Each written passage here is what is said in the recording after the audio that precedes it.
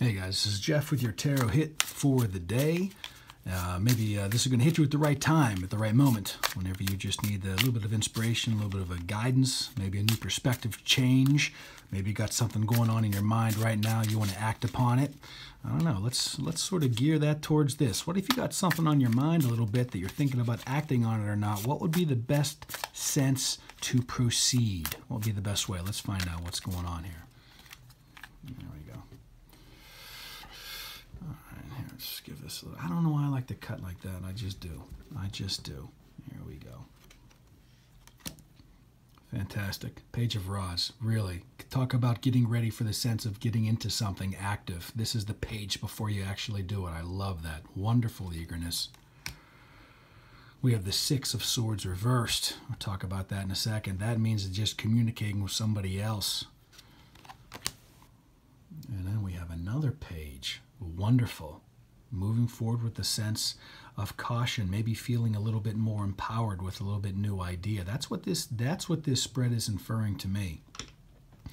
That thing that you could be thinking about moving on with, maybe it's asking someone out, maybe it's asking for a raise, maybe it's I don't really know what it could be. that's not really the point. But whatever that sense of eagerness is, and really notice how the left handedness, I talk a big lot about, and I'm actually linked below my right and left handedness about the tarot. Notice your characters, what hands are more dominant, higher or lower, depending on whatever they're holding. I tend to think as their right hand is being active and very dominant in what's doing and what's happening and what's giving, where the left is receiving, anticipating. Uh, the more yin energy, the more passive energy, the more active on the right. We can see that this left, very passive hand is much more dominant on this page, Raj, which means to me it's not just barely hanging, just barely above the right hand, but there's really that pressing matter that you have about should I act, should I get going, this being the fire, this being the wand, or this, you know, the Morgans call it the rods. Whatever you happen to be thinking about or came into your mind about, I'm really thinking about getting into this, I'm really getting eager about it, keep those positive expectations. But this could be the day where you decide to share those with somebody else. Not always is that a good idea, and as a fact matter of fact, rarely is that a good idea to, sh- to share your high intentions with somebody.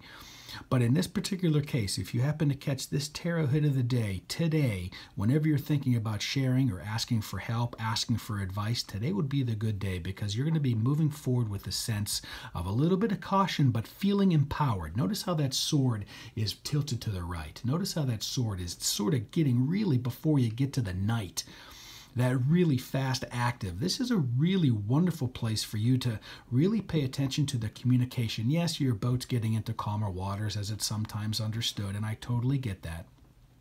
But whenever this wonderful Six of Sword comes in reverse, for me, and it may flavor your soup of understanding as well, it's as if those swords sort of fall out, which is why I love the imageries transferred here, to really get up, look around, see who's around you and notice in your decks also, your sixes in your decks are going to somehow, in one way or another, infer that there's some sort of like someone higher than the other, like an unequal relationship, but not inferring a bad sort of tone or one upsmanship or someone holding something over somebody else. Maybe that's possible, but not always. So there's someone there to help, like this woman here. You know what I mean? Maybe she's not even aware that there's someone right behind her who's actually helping steering the boat. Maybe perhaps that is you. And in this reversed energy of this six of swords, perhaps you get the gumption to take that eagerness to move forward in your dream, your idea, your possibility that you want to act on. Look around, try to get some advice, try to get some insights, try to get some inspirations from them. And then here with this card, take that conversation, take that take that module of knowledge and then just get right before you get to acting in that knight phase, have a little better idea why that sword is so dominant and strong and tilted forward is that you're going to take the insights and it's going to get you to a better, better stance than just being the page of swords, just eager, eager, eager, eager, eager all the time. Like if you're eager to do something but you don't have an insight on from anybody else telling you how to go about it or how to move forward, then you just sort of stay in this phase forever, especially today because this is your tarot hit of today. Look around you. Ask them for some advice or some uh, inferred permission, and then right there, then you begin to go. You begin to go, maybe with a sense of uh, um, uh, enlightened caution, like this card generally means to me. All right? I hope that hits you at just the right time for you, and I'll see you next time. Bye.